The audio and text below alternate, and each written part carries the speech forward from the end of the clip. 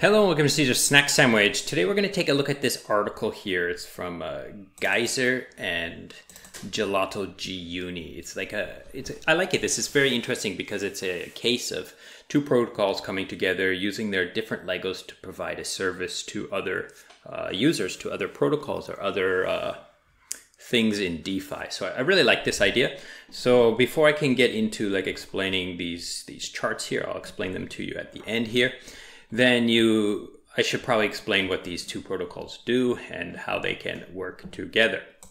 So the first one is GYSR.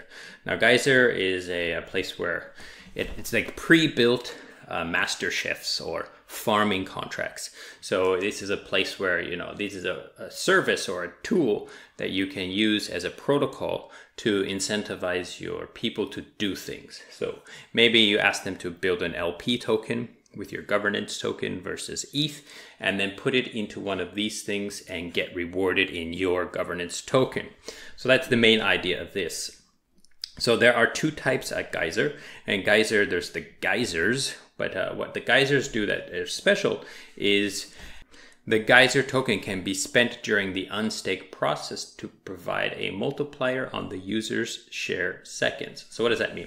So when you, let's say you put, let's say you put in uh, like a hundred dollars worth of LPs, I put in a hundred dollars worth of LPs. We start gaining rewards, right? And then at some time I decide I want to pull out. If I pull out and spend the GYSR token, then I will take a bigger share of the pool at that time. So you will actually, I will be taking some of your rewards. However, you will stay inside the pool and then make up for that. So it's kind of a, it kind of gamifies when to stay and when to get out and how, when you want to get out and uh, so forth. And then the other one is fountains, and they also use the GYSR token. And what that does is it's kind of during the staking process instead. So let's say I have 100 and you have 100, you put 100 in, and then I come along with 100, but I use GYSR tokens. So my $100 might be worth $110 worth of LP tokens. So then I get a bigger piece, piece of the pie for the entire time of it. So it's, it's quite easy, it's passive, it's and uh, so forth. Now, the other thing that the fountains can do is they have this optional time-based penalty for withdrawing early. So if you are a creator of these pools, you are a project and you create these, these geysers or these fountains, if you create this fountain, you can put this re, uh, penalty for people who leave early or leave after a certain time. And it can be scalable too, like not just a one time. So that's the purpose of this geyser, okay? Now, what is this gelato G-Uni thing? Gelato Network provides, it says automate your smart contracts. So it's kind of like a transaction builder kind of thingy. Now, what does it do is uh, there are three current uh, services that the Gelato does right now, and that is limit orders on Uniswap, QuickSwap, and other aggregators. There's actually a whole bunch of other dexes that have this gelato built in limit orders, right? And uh, so this gelato network is a set of like keepers or kind of like bots that'll perform actions for you at certain times. So you you can do these limit orders, and then you, there's also this G Uni automated uh, Uniswap version 3 positions, and that's what we're talking about today. And then there's also these debt position managers and so forth on Aave. So this is the product that we're talking about today. So if you go to this article here, the first one that I showed you, and you come down here, you click on this uh, Medium article here, and it'll send you to this one here. Now this one does a very good job of explaining to you what is uh, Uniswap version 3 and how it kind of works and kind of how GUni can work with Uniswap version 3 and so forth. But it's not the best article, uh, but you should probably read it and I will use a little bit of the ideas from here, but I do like this one, this article better. So I'm going to use this one to explain how does GUni work, uh, how they're, how this uh, idea here is using GUni.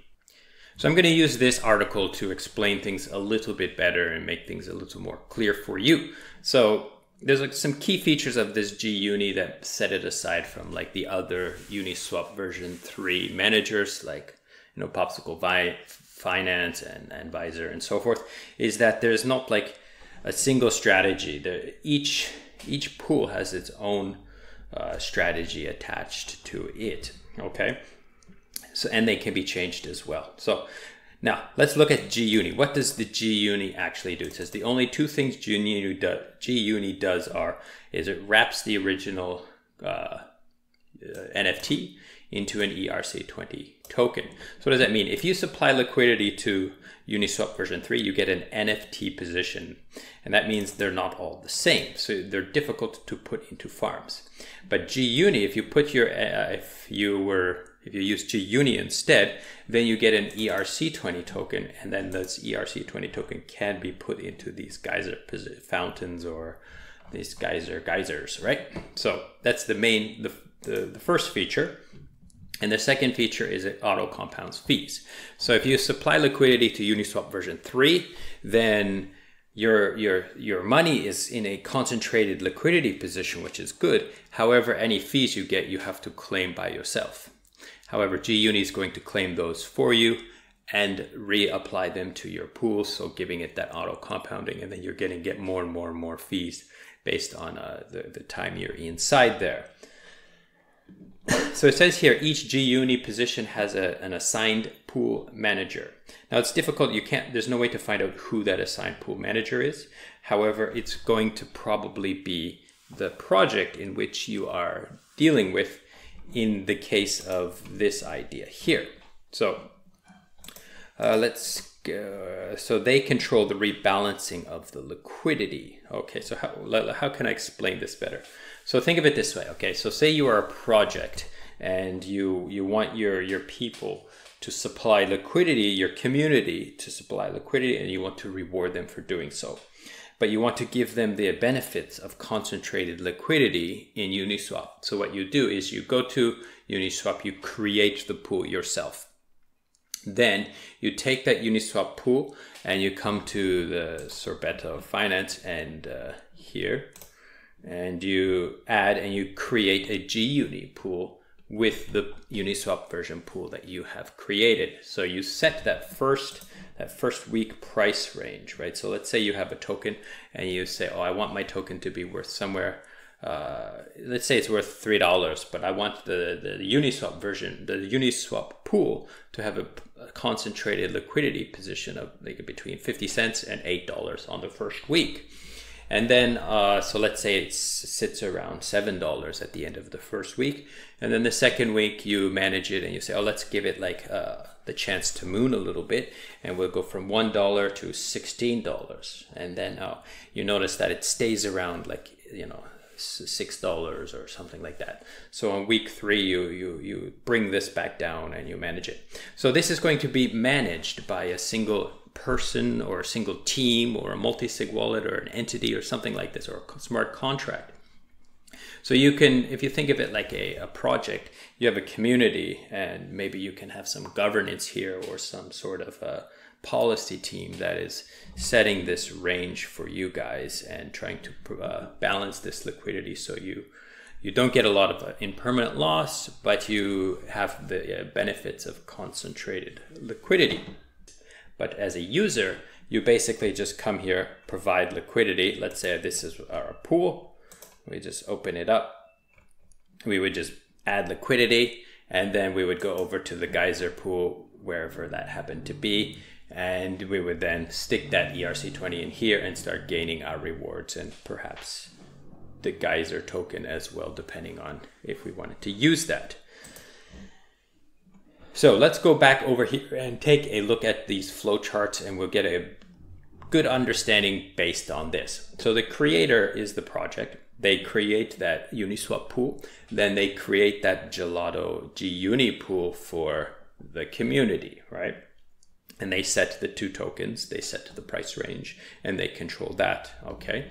Then the users come along, they bring the two tokens, and they stick it into the gelato pool or and they get back the GUnit token. So there is one step for the users. They don't have to go to Uniswap first. They just need to come here and supply to this G, gelato Uniswap uh, pool. They don't have to even go to Uniswap and understand and deal with the whole like you know, price ranges and so forth. They just come here with their two tokens and they stick it inside and they get the GUnit pool.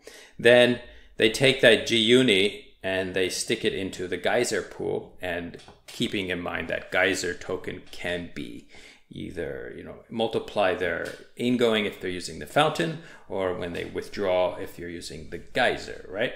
Now where does this GYSR token go to? It goes to the team. It's a way of paying the team so the team can get their their uh, incentives or their payment in GYSR okay? And then they get this person you know puts the GUnit inside here and then, then they get the reward token whatever that happens to be and sometimes when they want, they can pull out that GUnit token and, and unwind this position. So that pretty much covers this. Uh, like I said, I like this idea because it's making trying to make things simple for your community, but uh, and it doesn't require you to uh, do a lot of coding. It's like it's already there. So if you're a project and you have a token, you can consider using this and uh, reward and manage, help manage uh, liquidity for your protocol. Okay. So uh, that pretty much covers it. Um, I thank you so much for watching and goodbye.